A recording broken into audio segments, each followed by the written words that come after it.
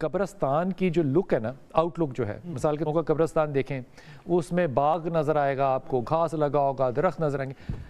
एक माशरे की अक्सी भी तो होती है ना कब्रस्तान बिल्कुल। कि माशरा किस तरह का बिल्कुल। कुरान जी की आयत है वलकद करमना बनी आदम।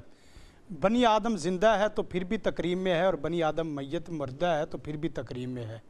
उसकी इज़्ज़त तो करीम हमेशा इसीलिए अल्लाह के हबीब सल्लल्लाहु अलैहि वसल्लम के फ़रामीन के तहत और कुरान मजीद की तालीमत के तहत कब्रस्तान में सिर्फ़ मैत जिस वक्त इंसान मुर्दा हो जाता तो उसको भी कोई ऐसा जुमला कहना भी ठीक नहीं है जो जुमला उसके बावजूद इस तरह के उसका वसफ़ था उसको जुमला भी नहीं कहना चाहे जाए कि उसकी बेहरमती की देखिए हमारे पास तो एक मजहबी एज है ना कि हम कहते हैं कि जो मुर्दा है उसकी भी इज़्ज़त जो है एहतराम जो है। लेकिन कमाल बात नहीं है कि जानवर जो है वो कब्रस्तानों में पहुँचे हुए हैं चरसी भंगी ड्रग माफिया कब्रस्तानों में पहुँचा हुआ है बहुत प्यारी जंगल पहुँचा हुआ है वहाँ पे। कि इस एतबार से देखा जाए तो जितने मनशियात के और जितने चोरी डाके के जो मेन अड्डे हैं वो कब्रस्तान बने हुए हैं। हाँ। कब्रस्तानों में लोग हर वो बुरा काम करते हैं ये जादू टूने की तो बेस बुनियाद ही कब्रस्तान है।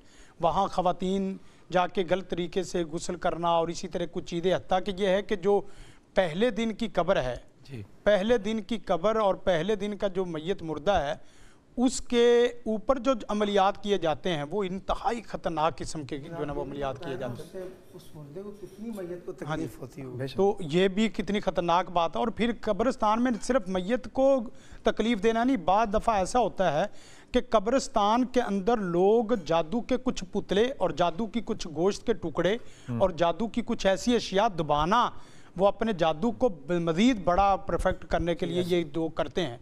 और फिर जो सफ़ाई वाला सुथराई वाला ये मामला तो बरकैफ सफ़ाई निस्वी मान है हाँ लेकिन कब्रस्तानों पे ये बात तो नहीं है। आप कोई अपील करना चाहें तो आपके सामने है कैमरा आप अपील करें तहरीक का सर नाम सुन के बड़ा बड़ी खुशी। तहरीक ज़िंदगी शऊर से अलहिकमा इंटरनेशनल।